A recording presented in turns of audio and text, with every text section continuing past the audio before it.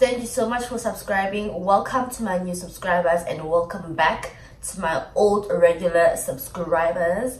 I am back with another video today. So I'm burning my candle over here. It's from Naya Beauty. Um, yeah, I have it on my Instagram. Anyway, so I have decided to start out this new segment on my YouTube channel where I talk about 10 things I wish I knew before whatever so for example in today's video i'll be talking about 10 things i wish i knew before i became a mom or before i had a baby right?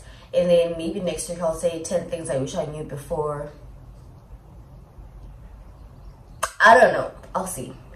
Anyway let's get into today's video. So part of the 10 things i wish i knew i will be looking down. I wrote some things down on my notebook. So if i do this just know what i'm reading what is written down here so the first one is where's the first one? Okay. So the first one is postpartum is messy. So for those of you that do not know i have a 22 months old baby girl. She's turning two in september next month um, but she hasn't turned 23 months yet. So i have a 22 months old baby and postpartum is the stage after you have a baby so there's pregnancy, then there's postpartum, right? I don't know how long it lasts, but immediately after you have a baby, you are in the postpartum stage. So the first point says postpartum is messy. First of all, um, I think it's quite different for a lot of people, but specifically for myself, it was so messy because you know most before you have a baby, you think after every long time it'll be so much better. You know you'll sleep more you sleep on your stomach because you were not able to do that when you were pregnant. So you think that okay once the baby is born i'll sleep on my stomach i'll go out with my friends um, i'll be myself once again you know i'll feel good whatever whatever whatever. Postpartum is not cute um, for me i had an episiotomy so they cut my perineum when i was giving birth. So which meant i had a couple of stitches after i gave birth. So those were hella painful. They were hella painful. They were so painful if you don't understand hella. They were so so painful. So i was trying to nurse those stitches firstly secondly i'm have got a baby. She's crying. Okay she wasn't crying i'm lying. She's waking up every two to three hours. She has to be breastfed every two to three hours which means nah if i sleep at seven i'm up at nine or ten. Let's say three hours. I don't remember. So if i sleep at seven at 10 i'm up breastfeeding. Okay level 12 1 i'm up breastfeeding. 4 a.m i'm up breastfeeding. 7 a.m i'm up breastfeeding. And you can't breastfeed lying on your side when you've got a newborn um, you have to sit upright. That's what i was told pofke by my mom. So every three hours i'm sitting up and breastfeeding. Every three hours i'm sitting up and breastfeeding you know? So also i can't sit kakuhle. It's kind of painful. So you know it's messy. Yeah well um also my boobs are painful. I had engorgement so my milk was starting to come in. My boob or my body didn't know how much milk my baby will need so it was really painful when i was breastfeeding. I think engorgement is called i don't know. But my boobs were engorged kuvele some um, membranes are they called membranes. But you know so G, if I, I never knew that postpartum was going to be like that. I never knew. I thought Nanje it's going to be you know my mom is here she'll help me she'll take care of the baby i will sleep when the baby sleeps. Sometimes during the day when the baby sleeps i can't sleep i can't fall asleep. To like get my um, so i couldn't sleep you know. So number one postpartum is messy. I wish i knew that before i had a baby. Number two is there is no normal for babies, right? A lot of people that have babies or that had babies before you will try to come into your life and come into your space and give you advice you did not ask for because they think what worked for them is supposed to work for you and it is not like that. There is no normal for babies. If someone else tells you that why you starting solids at three months for example? I don't know you know? Eh, and obviously we are advised to start solids after six months or four to six months i think. Correct me if i'm wrong. But whatever happens i mean at the end of the day your peds doctor will advise you on to when you can start when the baby is ready. A lot of things babies do when they are ready. So there is no normal for babies. Some babies my baby used to sleep and wake up just a little bit and go back to sleep again. Some babies are wide awake and it doesn't mean they are sick or whatever. It's just who they are. You know it's not normal. For for a long time. It's not normal for the baby to be awake for such a long time is it normal for you to be stuck into my business? It's not normal. There is no normal for babies. Whatever works for you and your family works for you and your family.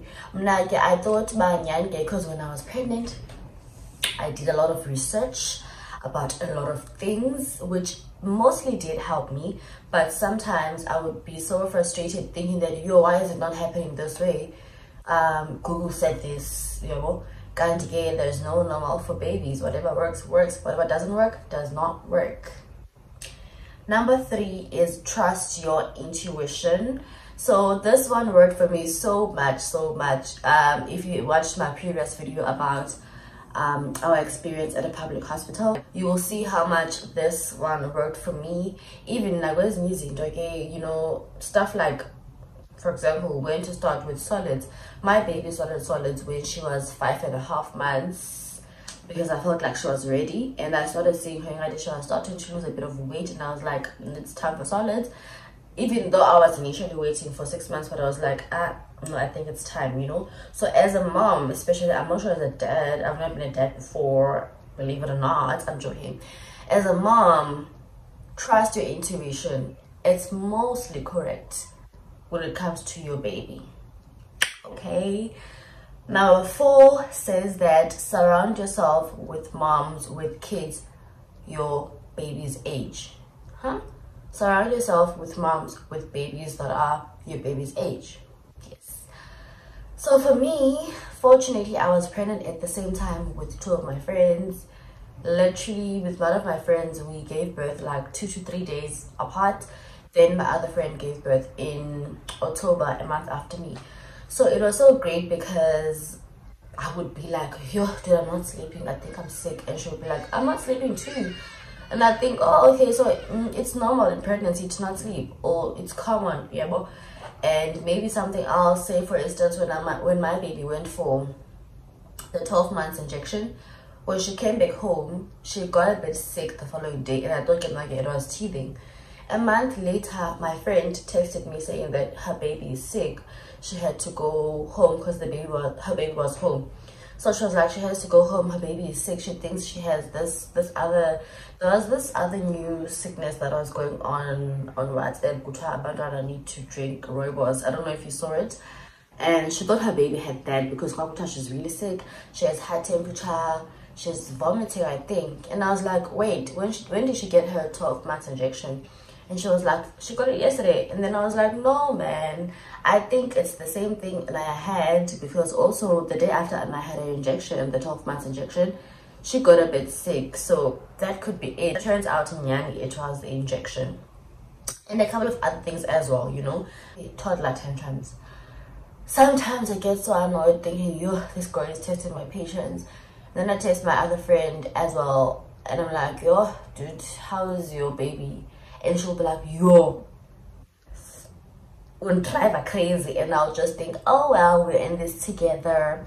So if you don't know else pregnant, it's, I would advise that really you look up into you look into the mom pages and the mom support groups to call them because that can really really help you calm down as a mom so i didn't know this when i was pregnant or before i had a baby that that would actually work in my advantage but it did help me quite a lot. So yeah surrounding myself with moms with babies my baby's age really did help.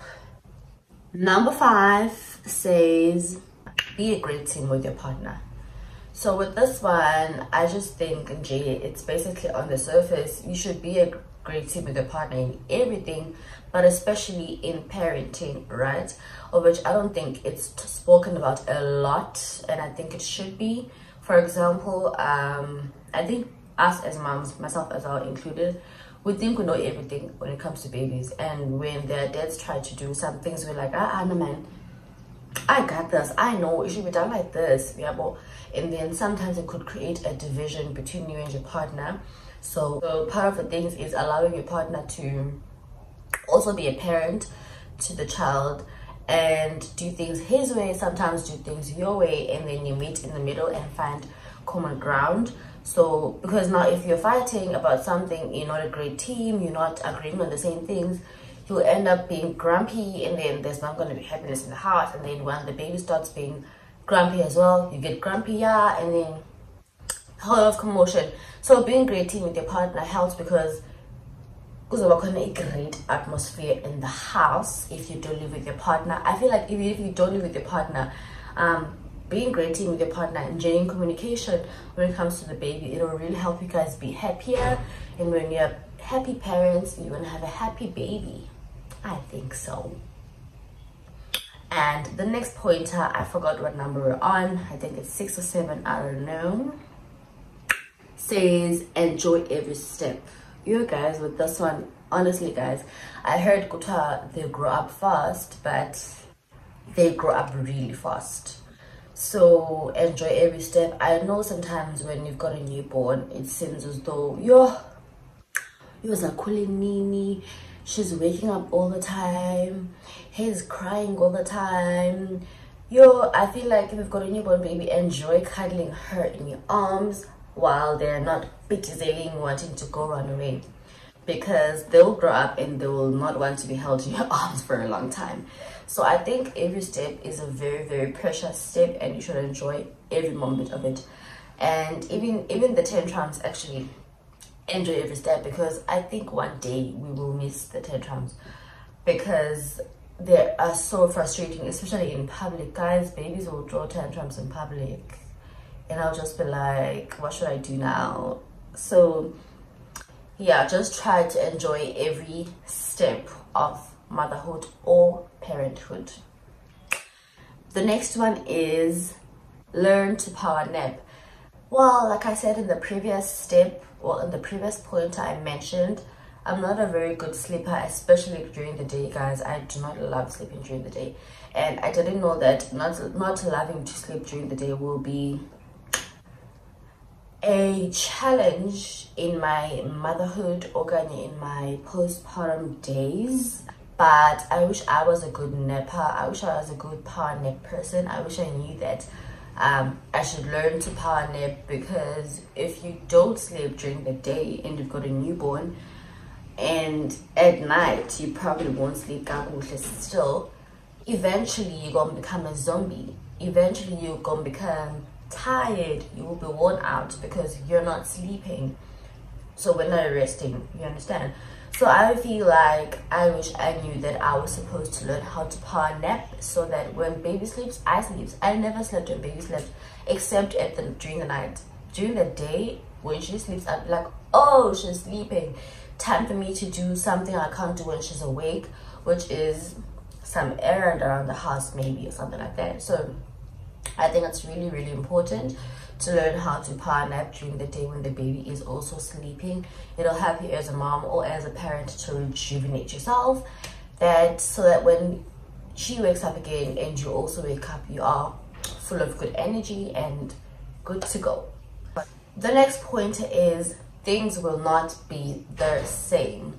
I was actually listening to a podcast, um, Milena and Milena Cicioti what's her husband's name?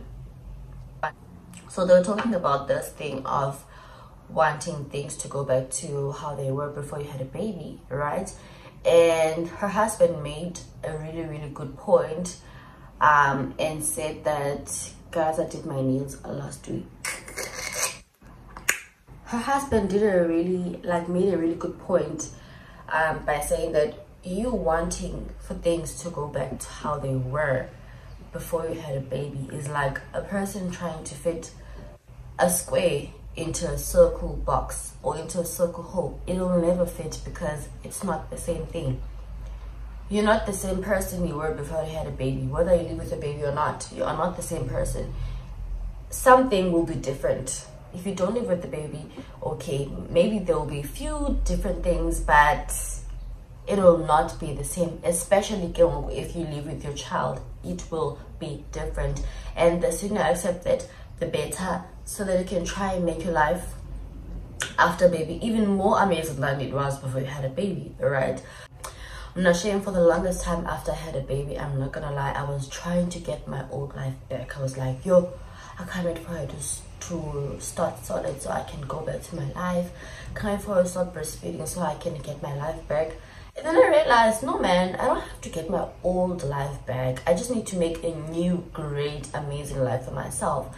And to be honest, I'm actually happier than I was before I had a baby, believe it or not. Because I told myself that I'm going to be more happier than I was before I had a baby, right? And accept the fact that, okay, we are doing this. So let's make the best of it, right? And then that's what I did. So if I had known before I had a baby that things will be different, just make the best of it because two things can either happen after you have a child. You have a greater life you did before you have a baby, you had a baby, or you have worse.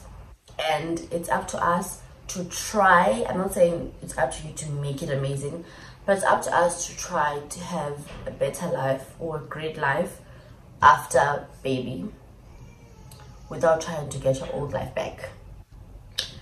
The next point is it is harder than it looks. Well people look at our pictures and decide that it's so easy. Guys social media i think you guys all know this by now it's always pushed by people. Social media is like 2% 2.5% or 1.5% of what really happens in real life. We don't post everything. It's not always easy. It's actually harder than it looks. But you know it's very nice. It's actually one of those things that you don't know how to explain. You just don't know how to make you understand that it's hard but it's it's a nice hard like it's a hard you don't want to stop doing. You know? So yeah. The second last point is breastfeeding is not always easy. So it depends with people as well. With some people their milk doesn't always come easily. They have to eat a lot more than they used to and drink a lot more than they used to liquids um, non-alcoholic liquids. And i'm joking i'm joking. They have to drink and eat a lot more than they used to right um, and when it comes to the baby's latch it's not easy. Sometimes like i said with myself my boobs were so engorged when i started but it's not always easy as well but it's so much nice. Like i just weaned my baby from the boob um last week or two weeks back. I'm joking last week. I'm still trying to wean her off. And i can just say that oh my girl you know she's doing fine. She she's doing okay. I'm the struggling person i'm the one that's struggling i want to give her the boob all the time but i always have to just like remind myself that no she's stopping she's quitting don't give it to her I just miss breastfeeding. So it's not always easy, but it is definitely also awesome. Well, personally, I enjoyed breastfeeding so much. Of which, as a person that has never breastfed, you would never think it can be sometimes difficult. But yes, some moms actually end up not breastfeeding because it's definitely not easy. So if you're a mom and you would love to breastfeed, I think you need to do a lot of research before you have before you fall pregnant. And then while you are pregnant as well try to do a lot of research on, onto how to encourage your milk to come through you know after have a baby. And the last point is it will get better my personal experience is that every month of baby is better than the previous. So i know sometimes you would think that as a person you when they start being toddlers they're so troublesome they've got these tantrums that they're having it's still so great like i don't know how to explain it but if as a mom you have a newborn baby and you're struggling to sleep you're not handling it well please rest assured mommy it will definitely get better. It is so amazing to be a mom especially excuse me especially if you try to enjoy it. So that's it for me. From today i hope you guys did enjoy this video. Like i said i will be doing a whole segment of 10 things i wish i knew before whatever. So please stay tuned for my next video and i hope you did enjoy this one. Please don't forget to subscribe if you haven't already and please don't forget to go watch more of my videos if this is the first one you're watching or even if or if you haven't watched my previous ones. Please go watch and support your girl. Please also comment down below and say whatever even if you just say hi roundy hi mommy or give us your experience on how you were when you were a first time mom or whatever. Just please support your girl and like the video and comment down below. And don't forget to subscribe if you haven't already. See you on my next video